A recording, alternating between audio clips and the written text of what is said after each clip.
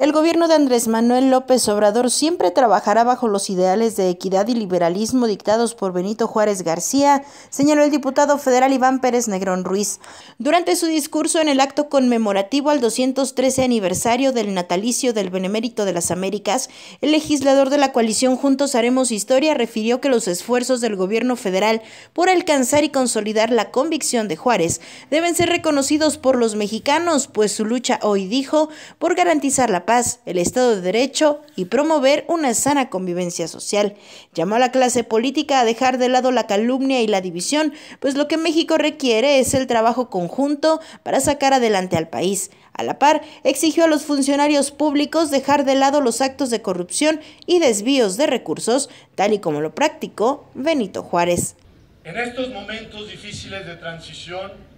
es indispensable recobrar el concepto la finalidad y el ejercicio unívoco del poder público, siempre pensando en el beneficio social. Hoy necesitamos de una vez por todas mejorar la calidad de vida de los mexicanos, abatir la impunidad, la corrupción, el robo descarado de los recursos y el patrimonio nacional, pero también generando condiciones óptimas para el desarrollo del sector empresarial.